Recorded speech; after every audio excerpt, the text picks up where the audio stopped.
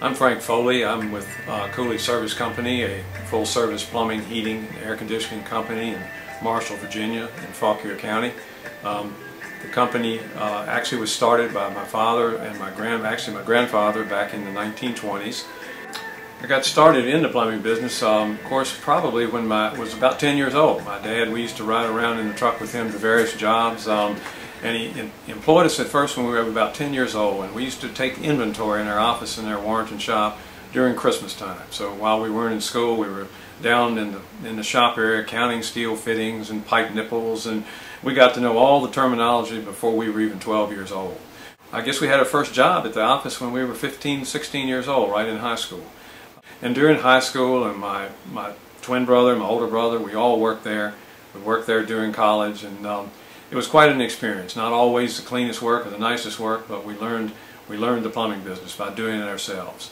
Um, one thing that we've always prided ourselves in, because we have been in business a long time, is that our employees, most of our employees, that we, our, our staff is, is averaged even from 25 to 35 employees. Many have been here for 10, 15, 20, 25 years. They're a good group, they're dedicated, they all want to do the best job they can, and we, we gear their talents to the type of work that we think they're best at.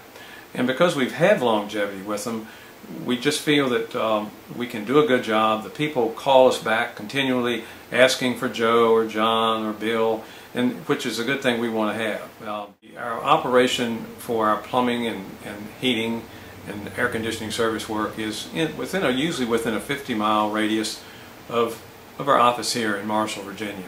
In recent years, there's been a, quite a lot of interest in the new uh, technology in the plumbing business, particularly in hot water. Um, On-demand gas water heaters, whether it be natural gas or LP, have becoming very popular because of the high efficiencies of these units.